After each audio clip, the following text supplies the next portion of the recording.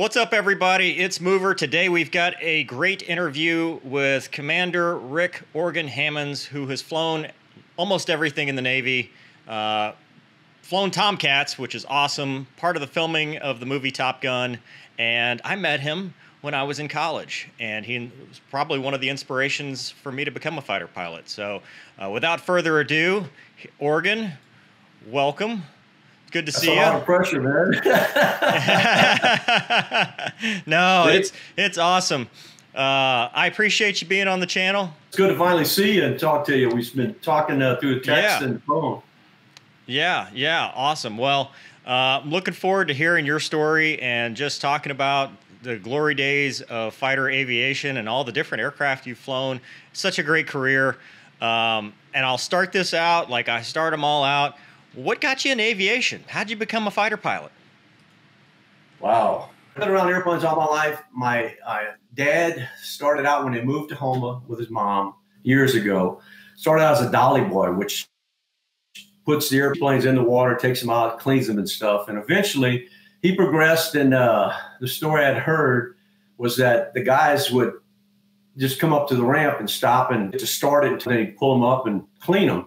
Well, he got more and more, uh, I guess, brave is the word. And he started doing more with the airplane and eventually uh, took got airborne for a little while. And uh, the owner decided that he better give him lessons before he kills himself. So that's how he got started in aviation. And uh, Oh my gosh, long story that's short, he eventually had his own business with seaplanes. Uh, Houma was big in the seaplanes back in the 60s, 70s, and, and early 80s. And uh, Dad had his own business. And eventually, the guy that he worked for worked for him later down the road. And uh, he also started a commuter airline that ran from Pensacola to Houston and along the Gulf Coast. So Oh, cool. Yeah, that'd be yeah, awesome. it was pretty cool. I think I was real fortunate that uh, the Fornofs, I don't know, you probably heard of Corky and Bill. Uh, Corky did the Mhm. flying in uh, Octopussy and did a lot of other movies. Uh, uh, I can't even tell you, begin to tell you which other ones, but he had quite a few. and they were my inspiration, my heroes growing up. We didn't have a, a tower at that time in, in Houma, and uh, Bill and Corky would always be tearing up the airfield. Man, I just I, I love going out there and seeing the Bearcats and the uh, P fifty one. And Corky used to do. I, I think he was probably the, the youngest guy doing air show one. He was in his early twenties, and they eventually got another Bearcat and started doing Bearcat shows. And unfortunately, uh, Bill was killed in uh, an air show in Rhode Island in 1971, June 5th to be exact. And I always say this, you know, I know where I was, and you probably remember where you were when Kennedy was shot, don't you? Yeah, Yeah, well before your time. might, And, might have You been know, a, and- and- might have been a bit before me. Yeah.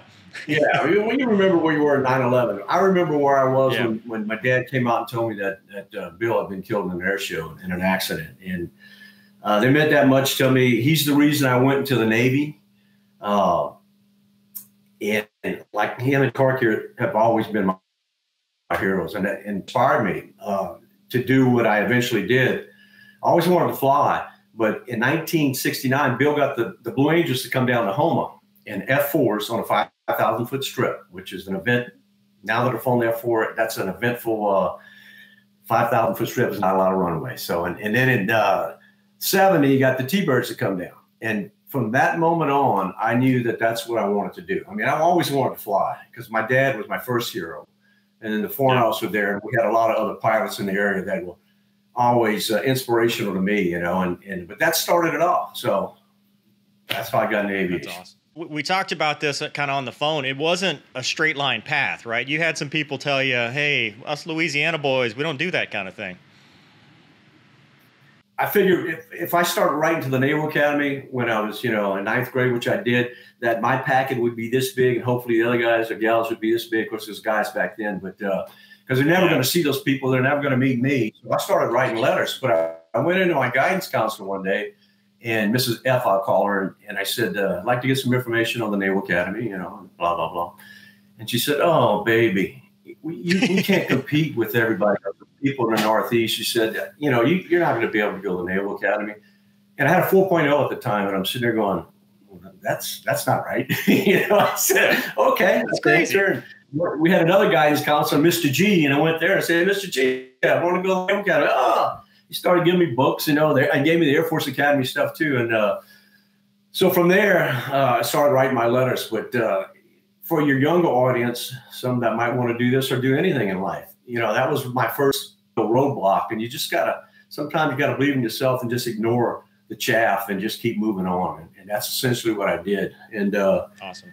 It all worked out. So can't. That's can't, awesome. Uh, so you went to the you went to the Naval Academy. I did.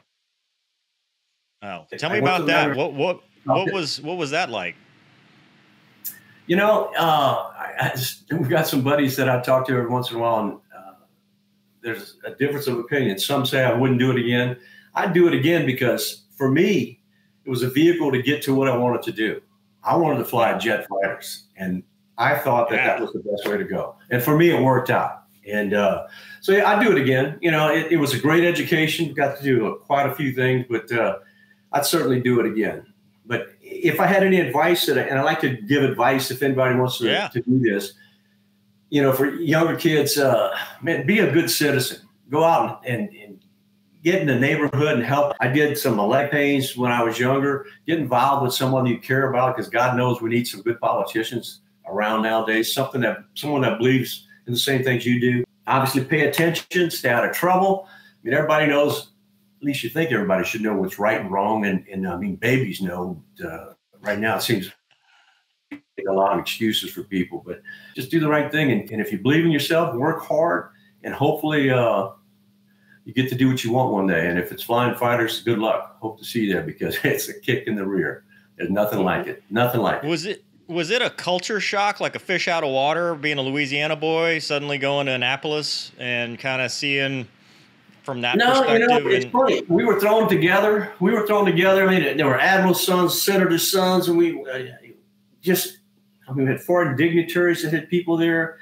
Uh, and equal, man. They strip you down pretty good, and everybody's equal, and you start relying on one another. You're building a team, and yeah. uh, no, you know, the, there were uh, the, the only differences were that and you probably may have been in the same boat. Louisiana calculus, for example, I took trigonometry, the highest we could go. And uh, when I got to the Naval Academy, some of my friends, good friends now, had already taken calculus in high school. So Mrs. F was right about that. We were a little behind, but you catch up. You know, it, it doesn't take that long. I mean, uh, within certainly the first year, at some point, you catch up, and everybody kind of evens out. Except there's a couple of guys that were so freaking smart that they validated the whole four years when I got there. You know, uh, I never caught up yeah. to those guys, so never will. Was it challenging to get the pilot slot out of there? I mean, was it a tough like com- competition or no? Really, much- actually, uh, we ended up. We started out with about fifteen hundred people, and we ended up with under a thousand, which is typical. We usually lose about a third. And the bottom guy in our class was able to go aviation. So wow. it wasn't difficult at that point, but it obviously started to get more difficult as we got into the pipeline, as you well know. Yeah. So, did, so where'd you go to pilot training? First thing I did was went to Pensacola, uh, flew T-28s and VT-2. We chose what path we were going to go, either jets, helicopters, or props. Pretty quick. I did had 23 flights in the T-28 with 36 hours, and that's when we pipelined big jets and uh, went down to Beeville, Texas to uh, fly the T2 and the TA4. I was 22 years old. And there are people out there that didn't have any flying experience. I, I did. I, I sold on my 16th birthday, you know, the typical one from an aviation family, and uh, sold on a 152 and then uh, ended up soloing in a Luscombe a week or two later because my dad said you got to have tail dragger time to be a real pilot. So uh, ended up soloing an Luscombe. So I had that going for me. But everything you do, everything you do in the training command and even after, it's a competition. You're graded, you know, and, on everything. And so depending on where you fall out, that's the determination as to where you're going to go. You know, I had, uh, it's interesting because when we got through TA4s and you get your wings, uh, I had originally put F4s uh, as my first choice. And the reason being, my history with Bill Fornof and the, the Thunderbirds and the Blue yeah. Angels back in 60 was F4s. And it's like, I want to fly the F4. and I got a call out of the blue from a lieutenant commander, and, and he said, Rick, I wasn't Organ at that time. He said, Rick, uh, I see you have F4s as your first choice. He said, You don't want to do that. I said, Okay, why? And he said, The F4 is the history, that's the past. The F 14s would call me because I switched to the F 14s and ended up going to the F 14s on the West Coast in San Diego, which was crazy, man. Well, when I first got to, to Miramar, I went to VF 124, F 14s, and when we, we moved into the BOQ, and uh, BOQ, you can see the runway, and, and at that time, uh, Miramar had a high pattern and a low pattern. So there were F 14s coming in in the break, high and low, and it was unbelievable, man.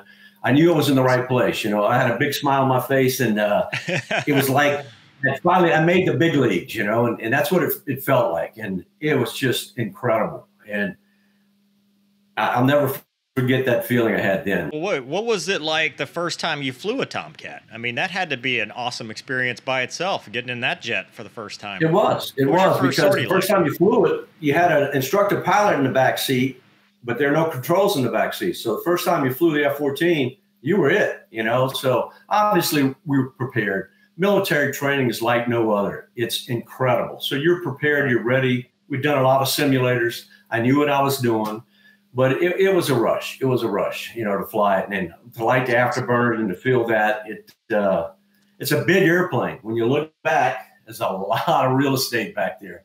But if you don't look back, you can just, I mean, take the stick and roll it, and boom, that airplane performed so well. Uh, a little later on, we can talk about the different airplanes I've, I've flown, and I'll tell you what I my thoughts on each one. But uh, I really, really enjoyed that, man. It just it was it was a kick in the rear doing that stuff. So, but I don't want to give away everything in the F-14 because it, as a weapons platform, it really, and I know this is going to disappoint some people, it really wasn't a pure fighter it was designed as an interceptor. It was designed to protect the battle group, the carrier in particular, from airstrikes. And uh, I know it's going to disappoint some folks, but uh, it didn't have the power that it needed. And it's important for people to realize that this is a dangerous business. And I had uh, my first uh, death, if you will, uh, when I was in VF 124, a student in the F 14 RAG. And the picture that if you show it of uh,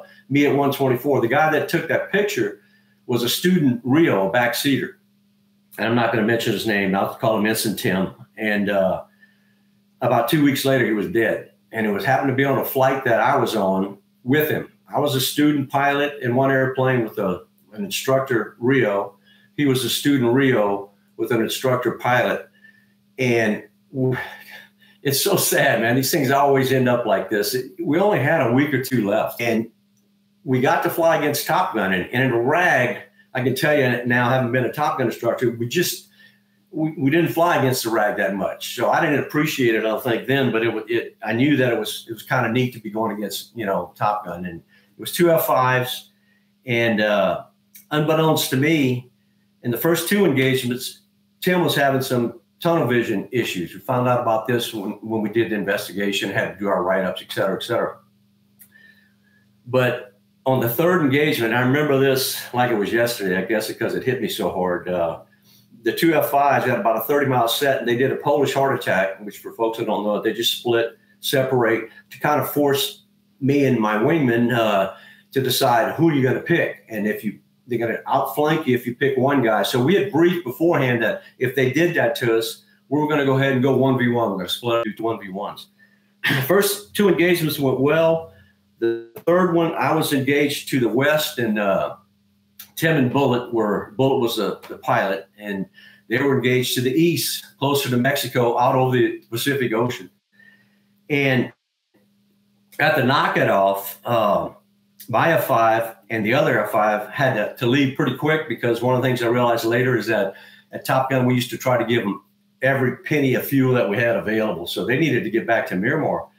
And I asked, hey, where's Bullet? And uh, the other F the other F5 pilot said, well, he was just here. You know, just engaging with him. And we looked around and couldn't find anybody, man. And so turned toward uh, Mexico, and my RIO got a contact. And I said, well, we got to go check it. He said, yeah, but he's out of the area. And I said, that's the only contact we have. Let's go take a look. So about a mile away from him, Barbison like that, I realized he didn't have a canopy, you know, and, and bullet was down like that, and the F-14 just Barbison. So we did a, a roll over the top, and to be honest with you, even that I couldn't tell if the seat was in there because I thought Tim might have been leaning down, and, and you know how the, the, the seats go up rails. Well, the rails are sticking out, and I couldn't tell if that was the seat or you know the rails. So I was trying to communicate with Bullet, and once we determined that he could fly the airplane, we called ahead to Miramar, called the Coast Guard out of North Island, and they came out, and we went down as long as we could, about 100 feet over the Pacific, and searched for Tim. And man, I tell you what, when you get 100 feet over the Pacific, there's all kinds of stuff there. We found a, a sailboat that was turned over. We found a, a raft, but it wasn't a Navy raft. And just a lot of debris in the ocean. And eventually we had to, to go back as well and, and get back to Miramar for fuel. And when I landed, uh, I realized that we didn't, he didn't make it. He didn't have a shot. And then when I talk to Bullet, I understand. And I'm, I'm going to show you briefly because let's see here. I got all my models. I had my F-14 model. I had a beautiful F-14 model, and I destroyed one of those. But uh, I'll use these tails. The stabs on the F-14 had about an 18-inch dash in the back on uh, uh, on the forward side of each stab. So the seat came out, and the parameters I learned later was that he ejected at uh, it was about five and a half G's at 450 plus knots. And so the, the seat went up the rail, and the railings, when I looked at the airplane, were bent back. So the, the seat came back and tossed and turned in between and kind of beat up the uh, beat up the vertical stabs. And I guess the good part of that is that you know he didn't feel anything, so it, it was fairly quick. But uh, that was my first, not to be the last time that uh, you know we lost somebody. Uh, in the squadron or in the air wing. So uh, keep in mind, folks, it, it's it's can be a dangerous uh, business that we're in. So why did the why did he eject and not the front seater? Well, the, that was a good part. Was that uh, in in two seat airplanes, if you're in the front and you eject, both guys go because the rocket motors from the seat are going to burn the guy in the back. So that's a dual eject no matter what. We didn't have a handle in the, in the back, but the students in the RAG in particular, and it depended on what the an instructor pilot wanted. But there's a handle in the back that you can select single eject or dual eject. As bad as it was, thank God that Tim was in single eject because otherwise they we would have lost both of them. We'd have lost the airplane and wouldn't have known what had happened. He didn't say why, what, like what caused him to want to eject in the first place. Like was what it, happened was on the first ejection? two engagements and, and bullet when we, you know, we all get in a room and, and write up yeah. this and, and I mean, and, and, of course we were young, early twenties. And so they were trying to keep us, uh, from getting too emotional, I guess, but, uh, we all discussed what happened and, and Bullet had said in the first two engagements, Tim was getting tunnel vision and the last thing he said in the third engagement was pull up, pull up, pull up. And they were near the hard deck. So he suspects that, you know, with tunnel vision, Tim had looked in and instead of seeing 5,000 feet or 5,500 or whatever they were at, confused. he thought they were lower.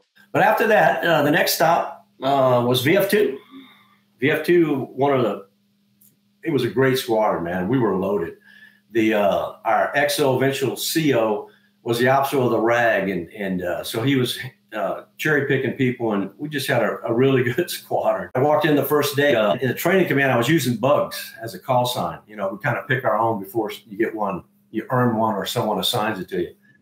When I walked into to VF2, Bug Roach was there, and Bug was legendary. And uh, I'll talk more about Bug a little later, but uh, obviously I couldn't have the call sign bugs with Bug Roach being there. So they already had Organ picked for me, you know, and, and of course the best thing you can do is just smile and say, thank you very much, you know, accept it because, uh, but I'm sitting there going, yeah. Organ, what the hell's an Organ, you know, and, and, yeah. uh, it, you know, it's because of my last name, Hammond, Organ, uh, is how um, Bob Baker gave it to me. Flash Baker was the one who assigned me that.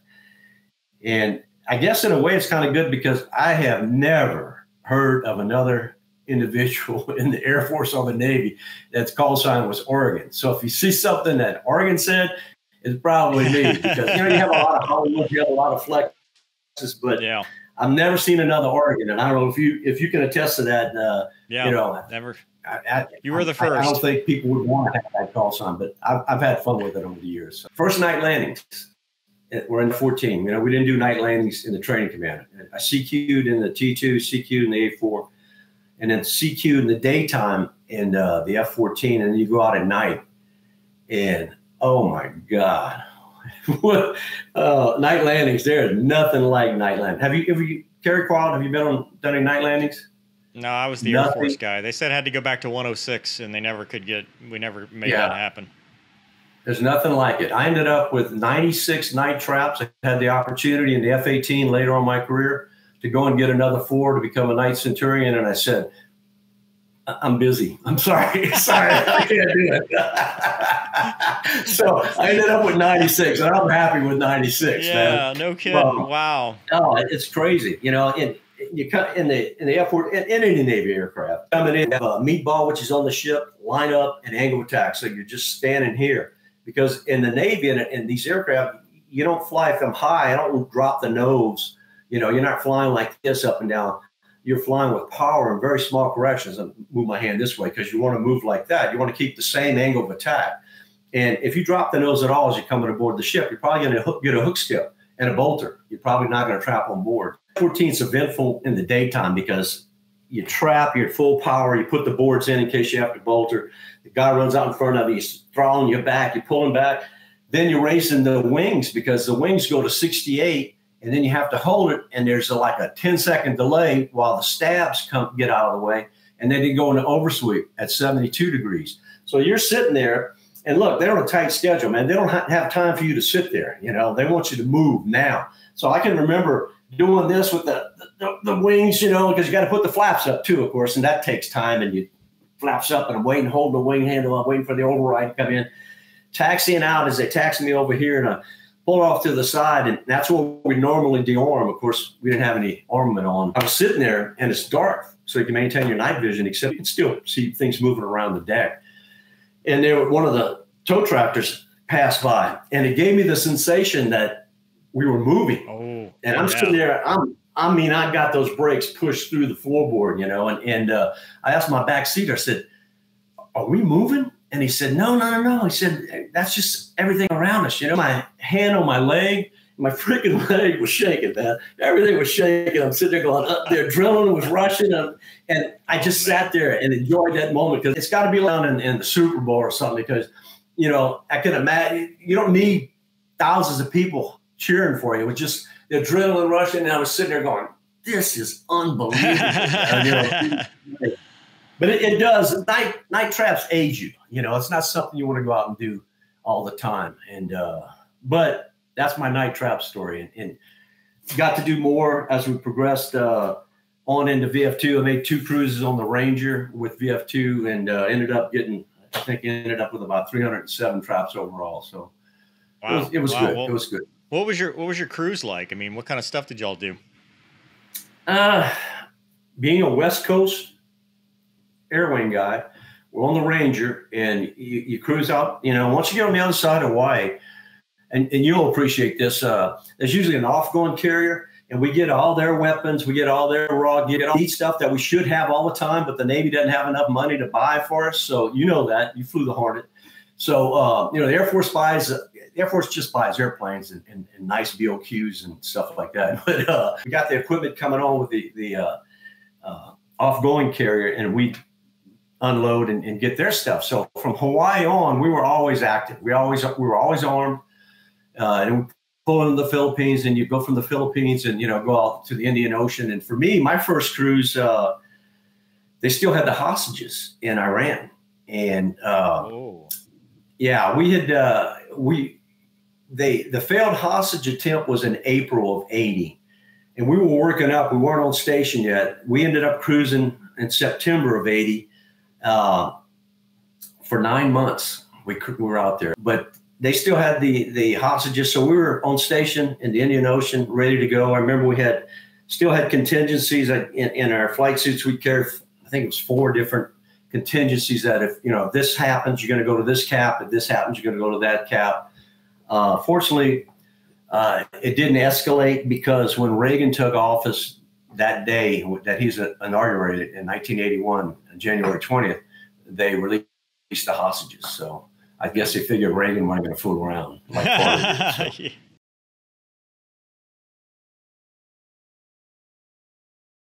so.